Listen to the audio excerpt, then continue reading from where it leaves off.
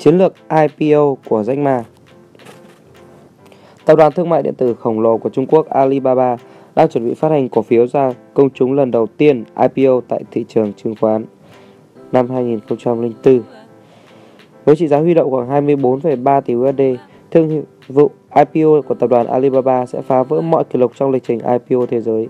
Chọn Mỹ để phát hành cổ phiếu lần đầu tiên, liệu đã đến lúc Alibaba vươn ra biển lớn? Joe Beckler, giám đốc điều hành của Frontier Treasury Group, thành viên Ủy ban Quốc gia quan hệ Mỹ Trung cho rằng thị trường quốc tế là mục tiêu xa, hiện tại Alibaba vẫn cố giữ ngôi vị hiện tại tại thị trường nội địa. Cụ thể, nhu cầu mua sắm trực tuyến của khách hàng Trung Quốc đang tăng mỗi ngày nên tiềm năng khai thác của thị trường nội địa rất lớn. Hiện Alibaba đang dẫn đầu ngành thương mại điện tử Trung Quốc với hơn 95% thị phần C2C của quốc gia này với Taobao Division và hơn 50% thị trường B2C với Tmall Division. Danh Ma cũng đã từng nói rõ quan điểm đối với Alibaba, Trung Hoa là bữa ăn chính, còn những thị trường đã phát triển khác như Mỹ chỉ là bữa ăn phụ.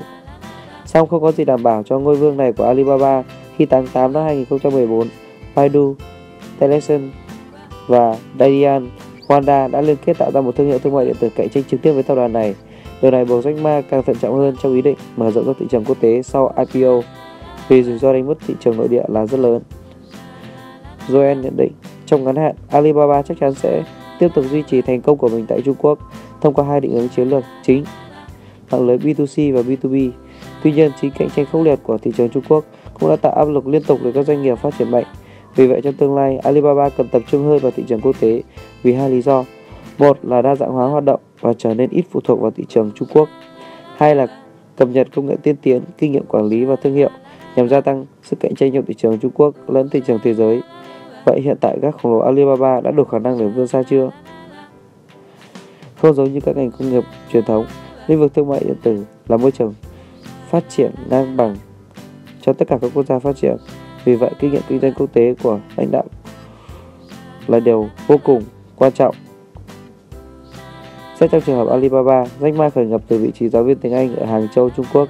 Vì vậy, Jack Ma có đủ kỹ năng ngôn ngữ để tương tác với khách du lịch quốc tế đến thăm Hàng Châu.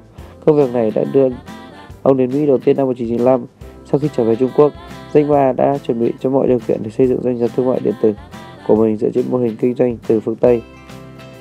Để hiểu biết hơn thì chúng ta cần biết rằng sự hiểu biết của Danh Ma trong ngành công nghiệp Internet toàn cầu cho phép ông liên tục theo các mô hình thành công ở nước ngoài và tạo ra phiên bản phù hợp với khách hàng trong nước như Taobao thì mô phỏng eBay và Alipay thì mô phỏng từ PayPal.